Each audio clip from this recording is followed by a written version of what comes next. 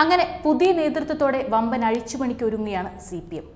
പുതുതലമുറ മാറ്റത്തോടെ ഇനി പാർട്ടിയിൽ നടക്കാൻ പോകുന്നത് ആരെയും അത്ഭുതപ്പെടുത്തുന്ന പ്രവർത്തനങ്ങളായിരിക്കും. ഇപ്പോൾ സി പി എം സംസ്ഥാന സെക്രട്ടേറിയറ്റിൽ സമൂലമായ പൊളിച്ചെഴുത്ത് നടത്തിയതോടെ ഭരണ സംഘടനാ തലങ്ങളിലും അഴിച്ചുപണിക്ക് സി പി എം തയ്യാറെടുക്കുകയാണ്.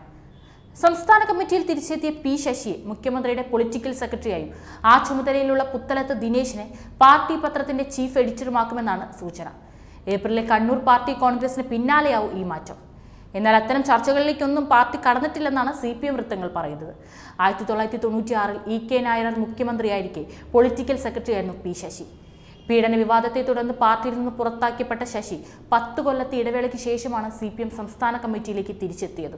പോലീസ് കാര്യങ്ങൾ മുഖ്യമന്ത്രിയുടെ ഓഫീസിൽ കൈകാര്യം ചെയ്യുന്നത് പൊളിറ്റിക്കൽ സെക്രട്ടറിയാണ്. പോലീസിനെതിരെ പാർട്ടി സമ്മേളനങ്ങളിൽ വ്യാപക വിമർശനങ്ങൾ ഉയർന്ന സ്ഥിതിക്കാണ് പൊളിച്ചെഴുത്ത് പാർട്ടി ആലോചിക്കുന്നത്. ഇടതുമുന്നണി convener A Vijayaraghavan Kannur party കോൺഗ്രസിന്റെ പൊളിറ്റ് ബ്യൂറോയിൽ എത്താനുള്ള സാധ്യതയും പ്രചരിക്കുന്നുണ്ട്.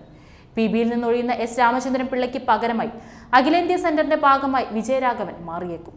ആ സ്ഥിതിക്ക് ഇപ്പോൾ ഒഴിവ് വന്നിട്ടുള്ള രാജ്യസഭാ സീറ്റിലേക്ക് വിജയരാഘവനെ പരിഗണിക്കാനുള്ള സാധ്യതയും പ്രചരിക്കുന്നു. മൂന്നൊഴിവുകളിലേക്കുള്ള വിജ്ഞാപനം ഇന്നലെ ഇറങ്ങിയിട്ടുണ്ട്. A K Antony K Somaprasad M V Shreyas Kumar എന്നിവരുടെ കാലാവധിയാണ് ഏപ്രിലിൽ അവസാനിക്കുന്നത്.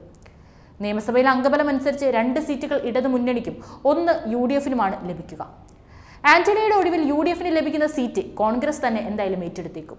ഇടതുമുന്നണിയിലെ സീറ്റുകളിൽ ഒന്നിന് ലോക്താന്ത്രിക് ജനതാദൾ തന്നെ വീണ്ടും അവകാശവാദം ഉന്നയിക്കുമെന്നാണ് സൂചന. സി പി ഐയും ഒരു സീറ്റിനായി ശ്രമിച്ചേക്കും. എന്നാൽ പുതിയ ദേശീയ സാഹചര്യത്തിന്റെ പശ്ചാത്തലത്തിൽ സി പി എം തന്നെ രണ്ടും ഏറ്റെടുക്കാനും ഇടയുണ്ട്. സി പി ഐ എമ്മിന്റെ പുതിയ സംസ്ഥാന നേതൃത്വത്തിലേക്ക് പുതുതലമുറയെ കൂടുതൽ ഉൾപ്പെടുത്തിക്കൊണ്ടുള്ള മുന്നേറ്റത്തിന് വൻ കയ്യടിയാണ് കിട്ടുന്നത്.